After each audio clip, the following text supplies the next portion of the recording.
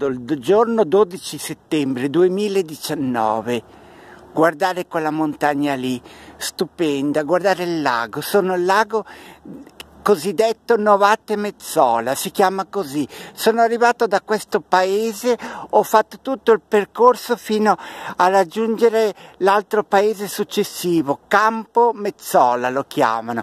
Ora questa bella eh, strada di una volta dietro la galleria che mi porta esattamente alla stazione di Verceia ecco qua che raggiungo a piedi e vado di qua verso la stazione di Vercea dove ho il treno che mi porta poi a Collico, poi Collico, cambio, c'è il treno per Milano. Ora voglio fotografare questo stupendo paesaggio sperando che non mi cada lo smartphone eh, nel lago.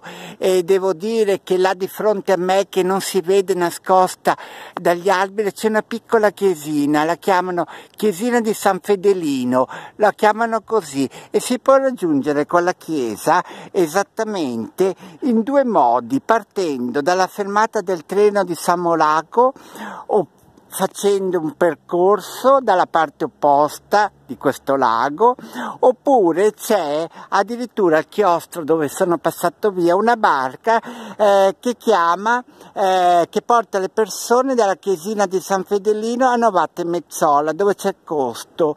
Ma il costo è un po' eccessivo di questa barca 10 euro andare 10 tornare. Comunque la prossima volta mi interessa scoprire quella chiesina lì e poi devo dire che mi trovo adesso in questo reverbero d'acqua acqua, eh, di sole, acqua che mi brucia perfino la cavezza, devo dire. Oggi fa tanto caldo, fa tanto caldo e mi sono riparato dietro una pianta qua di fichi.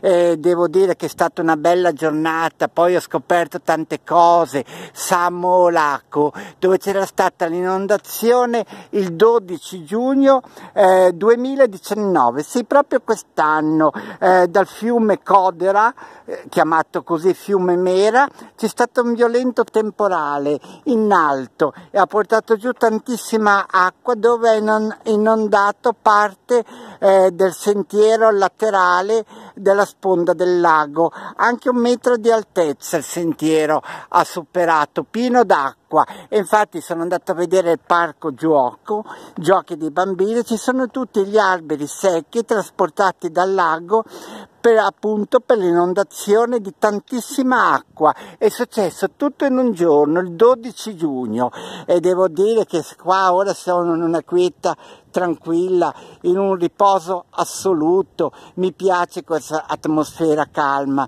Eh, il terrore è sempre la paura dei temporali, è successo un giorno, quella data lì, dopo tantissimi anni, comunque niente, non è successo niente di grave, proprio in quel giorno è successo anche a prima luna in Valsassina, Sassina, dove avevo la casa eh, due anni fa in affitto. Proprio un violento temporale che ha colpito la zona Samolago e a eh, Prima Luna. Eh, devo dire che oggi ho fatto quasi 3 km a piedi lungo questa passeggiata eh, lacustre e mi piace e mi sono divertito. C'era una temperatura di 30 gradi, io sebbene con i pantaloni di velluto ho affrontato la temperatura, il caldo. Adesso pian pianino mi dirigo verso la stazione, come ho detto prima, di Vercea e ho il treno che mi porta a Colico. Saluto tutti i miei amici ascoltatori di YouTube e le persone che ho conosciuto che abitano a Novate Mezzola, eh, non dicendo i nomi, con lo YouTube posso salutarli.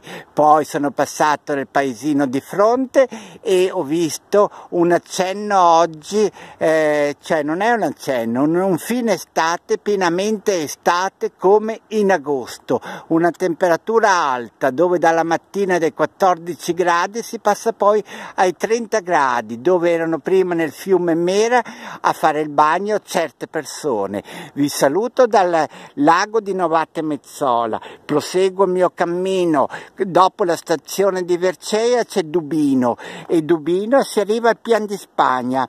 Devo dire che il Pian di Spagna è noto per la grande fauna e flora che c'è in quel in quel pian di Spagna che praticamente è l'intervallo tra il lago di Mezzona e la fine del lago di Como dalla parte di Colico. Vi saluto da questo YouTube informativo, spero di essermi spiegato bene anche se ho imparato tuttora in un'ora eh, tutte queste cose tramite le persone che ho incontrato. Vi saluto da Aldo YouTubista.